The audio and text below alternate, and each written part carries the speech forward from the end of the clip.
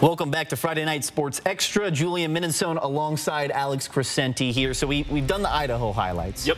But there were some big games tonight in Spokane area.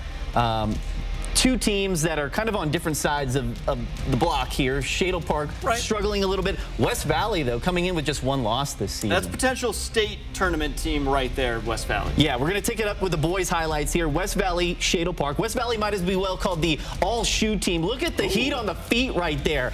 Ashton Zettel with two different colored shoes. Love the swag there. the hair. And, and the hair to boot. And then look at this. Ben Freed brought out those crazy colored kicks. I guess the saying is look good, play good, right? That's exactly what West Valley did tonight. Noah Gad Lewis cashes it in from three-point range. But check this out. On the other end, peep the move by Shadle Parks. Jacob Boston had dudes on ice skates out there. But it was West Valley's night tonight. Grady Walker Great game for Mr. Walker. Had a game high 21 points, including that big time triple. West Valley takes care of business. 68 to 48 is the final score. Hey, Eagles, they improved to 13 and 1 on the season and remain undefeated in league play. Like you said, Alex, potential state playoff team brewing up over there at West Valley. That's tight. Uh, state team from last year, the West Valley girls, also hosting Shadle Park.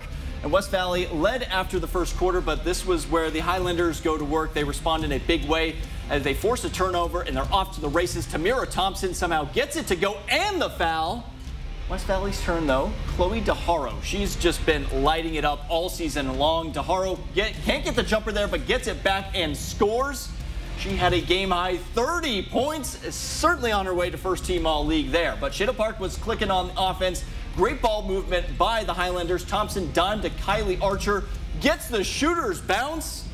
And Shadle Park wins this one 58-42, sits one game behind Clarkston for first place in the GSL GSL 2A standings. And a 20 plus point game for Kylie Archer there too tonight. Ridgeline boys visiting Ferris tonight. We start with Ferris with the ball early on in this game. Patrick Murphy finds Dylan Skaife, collects the ball, easy enough, puts it up and in and scores for the Saxons. But Ridgeline would respond on the other end. Dakota Means right there nails the three-pointer for the Falcons, but Ferris came right back. Here's a Saxon's turn. Reese Snellman had a big game the other night, and he drops it off to Jordan Taylor, who waits patiently and gets the bucket underneath. And Ferris proved to be too much in this one. Here's Skaife again. He's their big-time player. Connects with Sam Markin. Three-ball, corner pocket, good. Ferris runs away with this one, 62 to 46. Dylan Skaife led the way with 18 points for Ferris in the victory. Well, the Ridgeline uh, and Ferris girls also going head to head. Ferris with the ball. Kayla Jones scores for the Saxons here.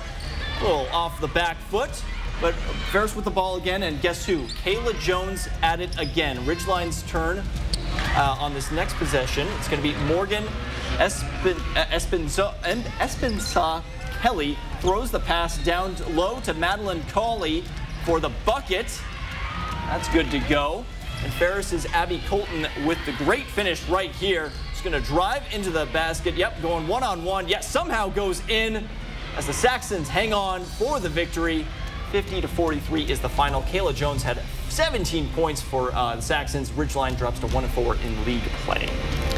Yeah, so Ferris, they've got some good teams over there. Pretty pretty Yeah. solid teams. Excuse me, specifically the boys team, who has now won two straight games this week um, in GSL standing. So huge games for them. And they've had a pretty good team historically there. You know, you can't keep them down for too long, you know. So, you know, a lot, game's maybe not as close as the Gonzaga game last night, but still some pretty quality